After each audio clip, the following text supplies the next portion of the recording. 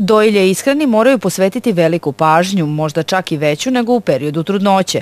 Ono što majke treba da imaju na umu je činjenica da i dalje nastavljaju sa ishranom svog deteta, samo sada putem mlečnih žlezda.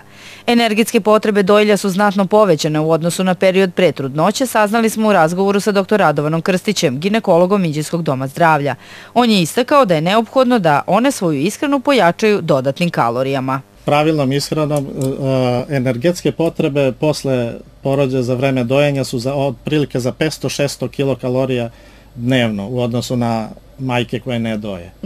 To se može nadoknaditi pravilnom ishranom s tim da se doda tih 500-600 kalorija.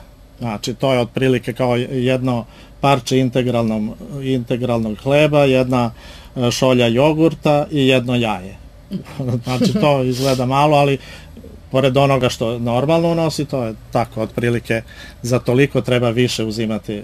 Ne trebaju sve žene isto, da, da taj isti kalorijski unos da na, nadoknade. Postoje žene koje su e, za vreme trudnoće stvorile veće rezerve, zalihe tako da, da one mogu i sa nekom restriktivnijom ishranom da obezbede dovoljno mleka. Mhm. Međutim, ta restrikcija se ne savjetuje dok se ne uspostavi potpuno dojenje. Znači, tek negde od trećeg meseca one mogu započeti sa nekom umerenom restrikcijom, sa nekom dijetom, ali s tim da se prati rast i razvoj deteta, a ako se desi da se uspori taj razvoj, ona se vraća na normalno ishranu. Mm -hmm. Znači, žena otprilike sme da gubi oko pola kilograma nedeljno.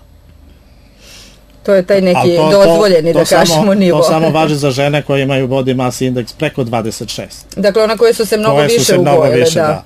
Dok za žene koje nisu dovoljno unele tokom trudnoće, one čak moraju i više od 500-600 kilokalorija dnevno da unesu da bi uspešno dojile. S obzirom da se u proseku izgubi mlekom oko 1,2 grama belančevina na 100 ml mleka, dojiljama je neophodno oko 20 grama belančevina dnevno.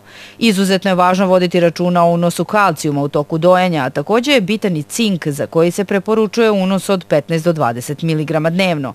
Izvor cinka su jaja, meso, žitarice, hlebi i proizvodi od integralnog brašna, pahuljice i drugo.